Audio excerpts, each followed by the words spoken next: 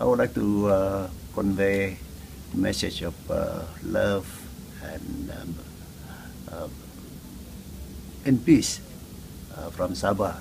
Sabah is a country probably in a far-flung far-flung place in, in the world. But I would like to assure you that uh, we would like to share with you uh, the beauty of Sabah, the beauty of nature that we have in Sabah, and of course to assure you that your safety is always our topmost considerations. And I can assure you, despite the fact of all the uh, recent report on the sec- security position in Sabah, but I just want to assure you that we are safe. We are taking every possible uh, steps to ensure the, the safety of everyone. And I'm happy to note that we've somewhat, I think, overcome some of the major hurdles in security.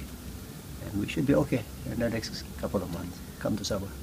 If ever there is a place called, or worth to be called, the Garden of God, I think it's in Sabah.